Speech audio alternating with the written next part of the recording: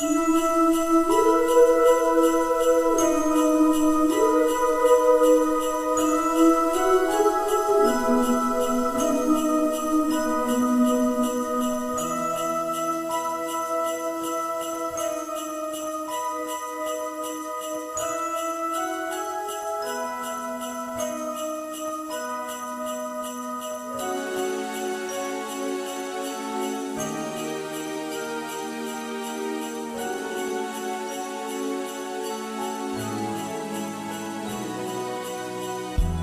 This is an editorial that appeared in The Sun.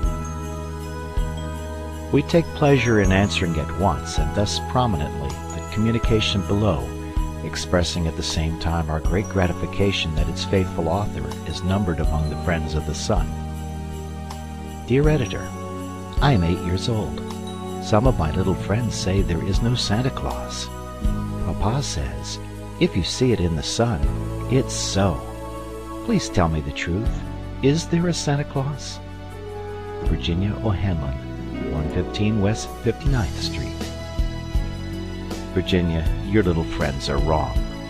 They have been affected by the skepticism of a skeptical age.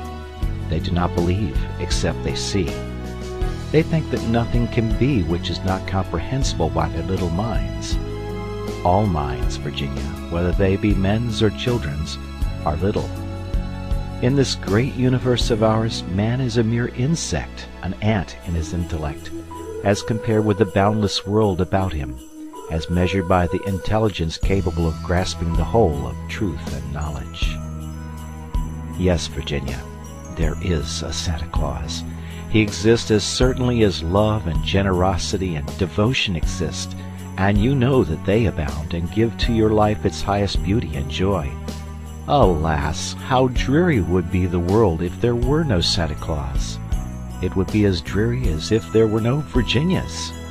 There would be no childlike faith then, no poetry, no romance to make tolerable this existence. We should have no enjoyment, except in sense and sight.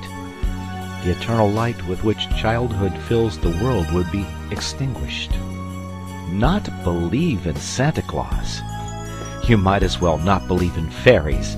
You might get your papa to hire men to watch in all the chimneys on Christmas Eve to catch Santa Claus. But even if they did not see Santa Claus coming down, what would that prove? Nobody sees Santa Claus. But that is no sign that there is no Santa Claus. The most real things in the world are those that neither children nor men can see.